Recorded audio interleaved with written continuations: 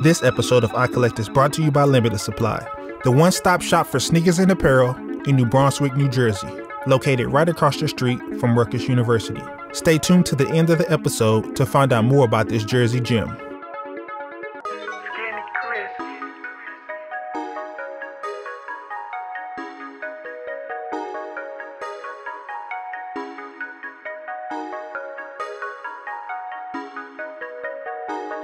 What's going on, world? Brand new episode of Open the Box there on your screen. I'm with Jake, guy in Colorado Springs who has Oklahoma City ties, but this guy has a crazy collection, man. This guy's collection is insane. Jake, what's going on, What's man? going on, man? Now you're a man of many collections. We will be here for like what two or three days if you had to show yeah. us all of them. But what do you have to show us first? I'm a big OKC guy. Kind of went crazy on Nike IDs. The KD6 is my favorite uh, model here. I have over 55 pairs of the KD6.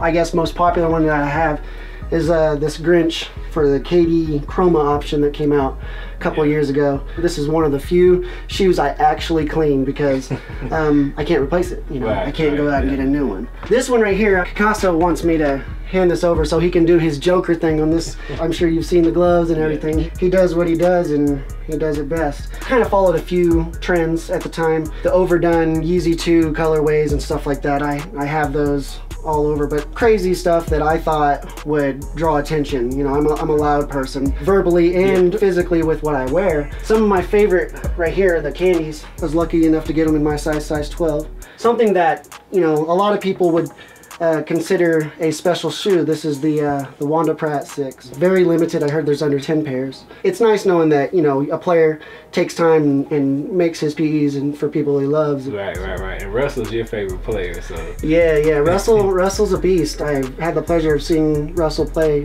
many times in person, and there's not many forces on the court that play like Russell. You know, he drives up the center and he just smashes the ball over the biggest, tallest guys, and there ain't nothing anybody can do about it. Now I will say this: Jake made me an awesome cup of coffee, so I'm gonna sip this while he shows you the rest of these super rare KDs he has. I'm gonna be over here sipping my coffee. I'm gonna let Jake do his thing. I'll start with the the six. This one is a pretty rare one here. I'm not even sure what it's uh, it's called. It's got like a ostrich type leather on there, and a actual physical like fabric type swoosh. Now this one right here is probably one of my most prized. I don't buy sneakers I can't wear. I just don't unless there's a certain story. There's not many of these. I only know of two other ones. I heard there's up to five. Anybody that knows me that this color is it for me. Just the combination, and I have some Nike IDs I could show you. One of them being right there. I call them crazy colors, and that's like my own personal loud Nike ID lineup. But this is to me is the coolest detail. KD riding a bike on the back. I'm a box freak, so I definitely got boxes. I have the KD6 Paris limited edition, two of the uh, bamboo boxes, and I, I think there's like 50 of them. D'Angelo Russell E EYBL6, lucky enough to get that, and at the time, I didn't really know that he was gonna be a, a pretty good player, you know? This right here is my favorite KD5. The Elite model, to me, was much better than the original 5. I like the original 5. I think it gets a lot of heat that it shouldn't. This is like the sister shoe to the one that's missing. The colors are slightly different. I have the Volts, and once again, Volt that highlighter, volt, neon, whatever you want to call it. The interesting thing about this shoe is at a point in time there was a couple of fakes going around and people were um, kind of uh, charging for it because it's such a rare shoe. The biggest way you can tell is the toe cap. And it's it's dark. It's completely a different color. This is the Wanda Pratt 4. It's got the triple sevens on the tongue, and then it's got the Wanda Pratt logo on the back. But this one was very limited. Not very many threes or twos, or really ones for that matter. I wasn't into sneakers at that time. I had a lot more KD4 Nike IDs, but I had somebody come into my home and take them from me. So these right here are actually uh, samples but as far as I know, no real difference. It is the same shoe other than the tag on the box. This is an interesting pair right here. The Score Champs. I'm sure you've seen the OKC themed ones. My favorite thing about the KD3 is this. It's a little cliche, but you know, KD went from having, you know, the basic standard sneaker, and I feel like this is the sneaker that changed the line into a different direction. You know, I, I believe they had Nike ID on these. And then, you know, this sneaker went from, you know, $95 and whatnot to the next shoe being like 120 Yeah. to 140 or whatever, and yeah. the prices keep rising. To me, uh, colorway wise, this shoe put KD's line on the map. It was a game against the Mavericks. The whole team had these on. These are the All Star twos. I really like these because I really think black and red, you know, pops, and and I think you know every true like deep sneakerhead has a tie to black and red because of Jordan, you know. Now, before we get into my favorite line that you have, a lot of people have went to the drop down boxes in their collections, right? You have as well, but you also keep the boxes. To me, it's all part of the uh, the collection aspect of it. The uh, 2013 All Star 28 box with the lock on it. And speaking of boxes, actually, this is one of the boxes I am most proud of. I pulled the dead stock notes. I've never had the opportunity to even have a box like that. What's the most creative packaging you've seen from a shoe? The one that I do have, the most creative packaging, is probably the Kyrie cereal boxes. I'm not huge on the Kyrie 4, but I saw those boxes and I, I think my eyes popped out of my head. I knew I had to have them. I have a custom made uh, Yeezy Red October box up here. You could stick the Red Octobers in there and it'd light up. The coolest box that I don't have is probably the Nike Mag, that big radioactive one. This is the uh, the box that it came in, the Hill Valley, sponsored by UPS. I was lucky enough to get them dead stock. That's not something that you find every day, and because you know everybody wanted to get those things and put them right on their feet. I got some custom, like the Jurassic Park customs from the, the remade, and I know the remade kind of caught some heat for some things, and there are some opinions on customized shoes. I have a strong one, but this is a customized shoe. As long as you're getting what you paid for, then I think it'll it'll be all right.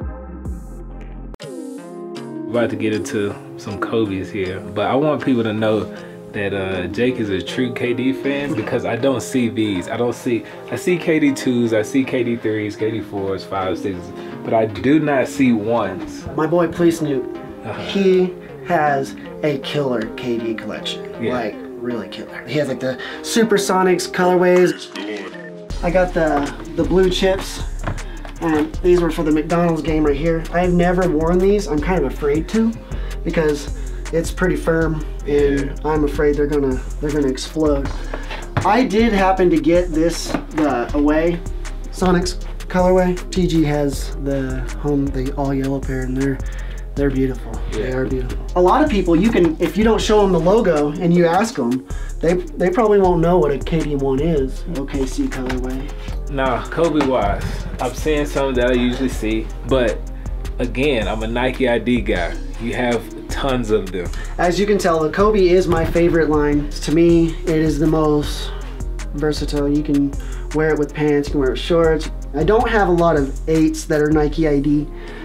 However, I do have the Christmas ID.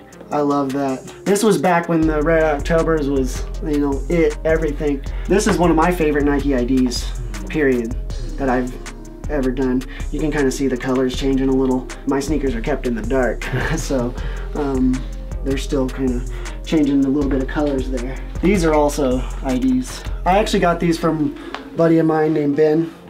He is insane with the IDs. I really love the 9. The Kobe 9 is my favorite model Kobe. It's probably one of my top five favorite sneaker models, period. I can't remember what these prints are called. Once again, loud. And if it makes a statement, there is no such thing as bad PR, you know what I mean? Yeah. This is uh, something else I had to do. Unfortunately, I wasn't paying attention and I left this flywire purple. One of my IDs that I did, and I did copy somebody off Instagram. This is around the time that the LeBron 9, the Statue of Liberty Elites came out, and those are really awesome shoes. And this color is, you know, it's killer. Yeah. So I decided to throw a bit of pink on there and make the reverse Statue of Liberties. By the end of the day after I posted these, I had several people texting and saying, you know, I'm, I'm making one or I've already made a pair. So there was a night I'm at a Oklahoma City Thunder game. Kobe breaks a certain record. And I am sitting inside the Chesapeake Arena trying to ID these things. And I happened to get them, but it was hectic. These are actually a brand new pair. I have another pair uh, somewhere. With the multicolor, I was able to get four pairs. I was able to get four pairs of, and this is before uh, Nike put a restriction on a couple of the next releases, and they'd only let you get two pair. But I was able to get four. My buddy Vince was able to talk me out of the the chrome swoosh. I'm still sad about it. He'll post it on Instagram, and I'm like, ah, yeah, I miss those. But right here, this one is the the one that just is amazing for me. That color. I've got another pair that has a gold swoosh. And then I got these guys, but you know, we've seen these a hundred times. Right, right. Nike ID to me is, it, it gives you a way to, to be creative. Creativity will bring you a lot of peace and it, it helps you express yourself in certain ways and show people how you feel through art. Uh, even if it is something as simple as a sneaker. The fade Flyknit, at first I wasn't too sure about it because it almost looks like somebody went with an airbrush, but I kind of fell in love with it when I got it. Now this is this is one that I really really enjoyed myself. Watch the Throne by Nike ID with some custom laces, and I'll show you my actual Watch the Thrones here in a little bit. These down here are some of the EMs that I, other EMs that I did do. My OKC. And this has nothing to do with the fact that I live here now. When I was a kid, the Denver Broncos won a back-to-back Super Bowl. Football was one of the few sports that were in our household and we'd, you know, hang out. So I, I remember that like it was like it was yesterday. These two right here are not quite the color that you'd want, but these are made after the soccer clubs that Kobe did. Dank Customs cut these for me. I had so many people tell me I was crazy, crazy, crazy. I don't like the nines that are high. I mean, they look cool and I've heard people say great things about them. I just, I'm not a huge fan. Dank actually recently redid the lining for me in some lambskin and put me some new laces in there. Out of the Kobe 9s, some of the, the highs were some of my favorite colorways. So I had to have them chopped too. This one is one of the few shoes that I wear snug and the tied tighter. If I don't, it kind of hurts my feet. But getting back into the IDs, the Grinch colorway. I love the Grinch colorway uh, for reasons I've stated about 10 times. one of my favorite Kobe's is the Chaos colorway. My buddy Ben is actually one who gave me this idea to make a multicolor homage, I guess you could say. The 9 and the 10 IDs options were insane. Mm -hmm. And this was an era I felt like the, uh, the IDs were really well balanced. They give you good colors to pick from, nice options, Flyknit, you know, whatever. But, you know, there's hardly anything on the side anymore to ID. And this is the alternate colorway that I did. You do have some LeBrons here and some Jordans you don't see in too many people's collections. So I want you, I want you to pick out 10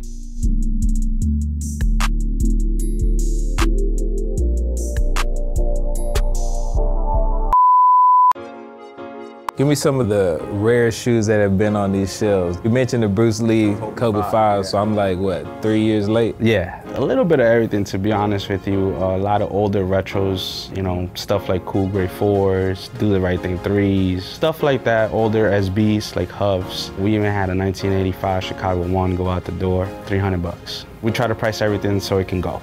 You know, we just try to keep a flow of things.